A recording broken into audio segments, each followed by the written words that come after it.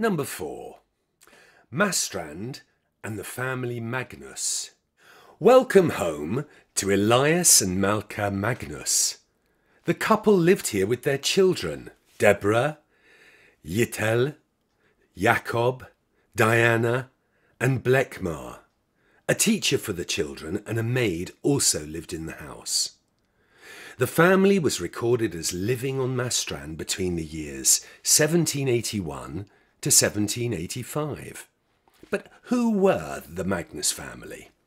Elias Magnus was born around 1730 in Prussia and was a multitasker who began his career as a craftsman and owned a successful sock factory in Mecklenburg. Elias heard rumours that Sweden would open up for Swedish immigration, and in 1779 he travelled to Stockholm. In January of the same year, Sweden had made a historic decision that opened up the country to Jewish immigration. One of the reasons was that the Swedish economy would benefit from more people settling and trading in Sweden. Elias appealed to the king to speed up the work on Jewish regulations.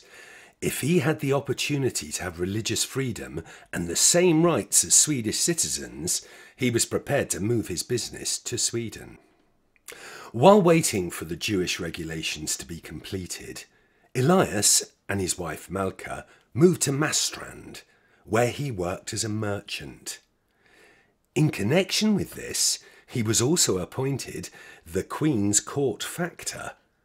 As a court factor, Elias carried out various procurements and commissions on behalf of the court.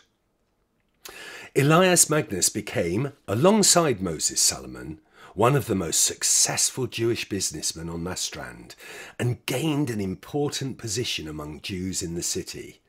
Elias and Moses also served as directors of the Jewish congregation at Marstrand.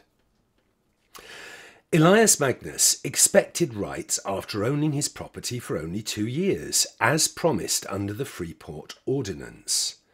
Therefore, he was very disappointed when Gustav III decided that the civil rights would only apply to Marstrand. Elias wrote to the king, pleading that the new law of exceptions would not apply to him, he and his family had nevertheless moved their business to Sweden to benefit the country and get all the rights of a Swedish citizen. Elias was not heard, and his application was rejected. In 1785, the family then left Marstrand. Elias Magnus had received a permit to run a wholesale business in Gothenburg, but the family chose to settle in Stockholm.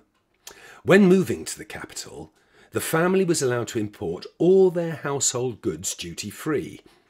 Despite this, they were stopped on arrival by the customs office, which considered that the Magnus family owned a suspicious amount of porcelain tableware.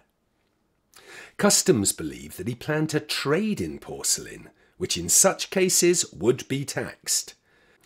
The situation was resolved by calling in a number of members from Stockholm's Jewish congregation who could certify that the Jewish Ceremonial Act required a much larger set of both porcelain and cookware. The Magnus family kept kosher and thus used different crockery for meat and milk, respectively. In addition, they probably also had additional sets for the feast of the Passover. Elias bought Råcksta farm in Spånga parish, where he settled with his family. He then became one of the first Jews in Sweden to own a piece of land.